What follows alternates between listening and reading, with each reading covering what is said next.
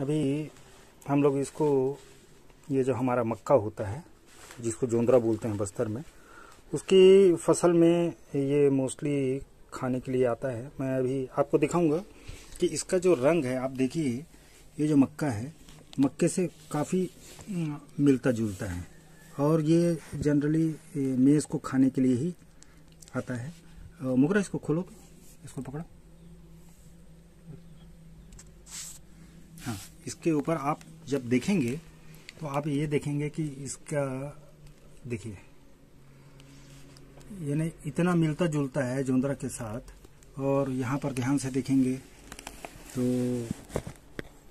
इसका अच्छा पीछे की तरफ़ पलट के दिखाओ मुकर ऐसा ऐसा ऐसा नीचे करो हाँ और नीचे करो दिखाओ। तो आप ये देखेंगे कि ये पीछे इसका टेंटिक मल द्वार बोला जाए। और इस तरीके की संरचना होती है, ये लास्ट में और ये यहाँ पर, ये ध्यान से देखेंगे इस जगह में, वो पकड़ने का है। और ये बहुत शानदार क्रीचर है और मैंने इसे कांगेर वैली नेशनल पार्क में भी इसको देखा है और जनरली इसको टाइगर बैट्स शायद कहते हैं। मुझे कंफर्म नहीं क्योंकि मैं पशु विज्ञानी नहीं हूँ। तो इस तरीके की चीज़ें बस्तर में का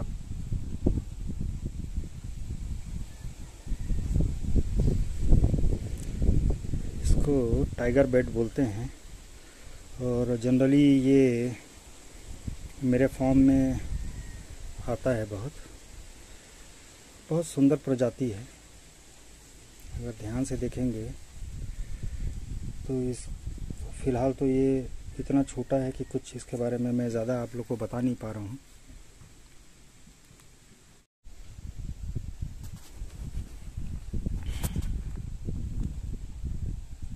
इसका देखा जाएगा तो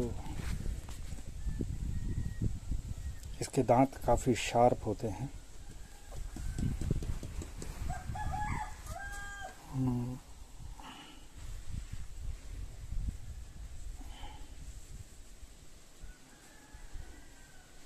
मैं आपको दिखाने की कोशिश कर रहा हूँ कि इतने शार्प दांत होते हैं इसके।